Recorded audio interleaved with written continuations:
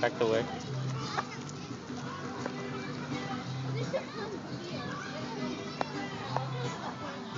You get it, Kate? Can you take a picture of me and put it on Facebook?